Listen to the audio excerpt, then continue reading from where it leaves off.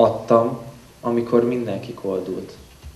Röhögtek mindenem, én sírtam. Ha nem volt kinek, akkor is írtam. Vesztes lettem, hiába győztem. Nem szabad elfeledkeznünk róla, hogy őseink életüket, vérüket adták azért, hogy ma Magyarországon szabadon élhetünk. Többek közt ez volt a mondani valója a Bátaszéki második Géza gimnázium tanulói által előadott színvonalas produkciónak. A 11. A osztály, a gimnek a 11. A osztálya készítette a műsort, illetve hát ők adják elő, és hárman a Sos Marika tanárnő, Szélik Ágnes tanárnő és Énegle Anikó, mi állítottuk össze a forgatókönyvet, és mi próbáljuk betanítani nekik. Nagyon ügyesek.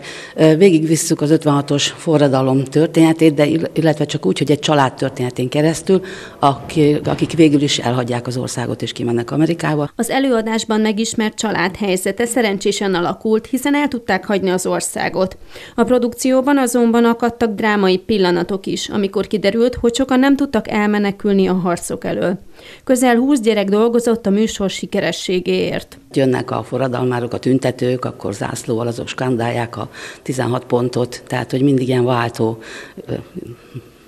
verzióban lesznek a gyerekek, és az éneknél meg fönn van mindenki, tehát mind a 20 gyerek. Péter Olivér volt a főszereplő. A családban az apa karakterét játszotta el, amit nagy kreativitással és tehetséggel oldott meg. Elmondása szerint a próbákon is mindenki igyekezett a lehető legtöbbet kihozni magából.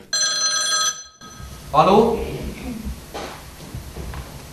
Anya, itt az amerikai rokonok vannak a telefonnál.